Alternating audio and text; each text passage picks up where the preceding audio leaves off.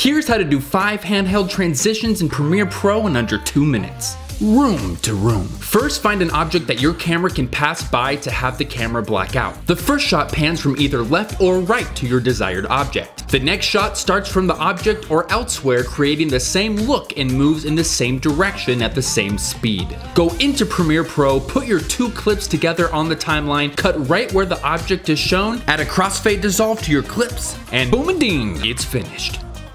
Spin.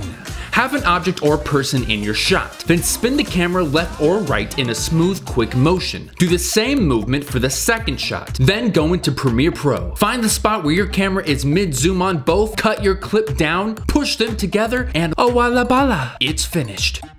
The pass by. Find a tree or other objects that you can pass by for your first clip. Then on your second clip, move the camera in the same direction at close to the same speed. Slide into Premiere's DMs and grab your first clip and let your object go to the end of the screen. Then cut past your object using the opacity tool and keyframe until it's out of the shot. Grab your second clip and put it under your first clip. Line it up and bing a bang, you've done it. Circle of life. Start with your hand in front of your camera in a circle and push it towards your lens. Do the same in the following shot, then head into Premiere. You might be able to line up both shots perfectly, and if that's the case, then you're done. If not, put your first clip on top, grab your opacity tool, and cut out your circle, moving it with keyframes until it leaves the shot. Put your second clip under and line up your hands or close to it. A boogie woogie. It's complete.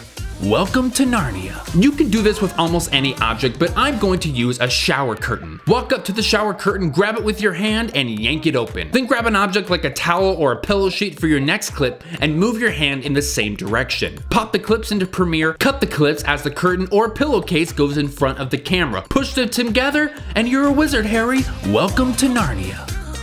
If you enjoyed these transitions, then make sure you subscribe to my channel for more tips and tricks in Premiere Pro. See you on the flippity flaps.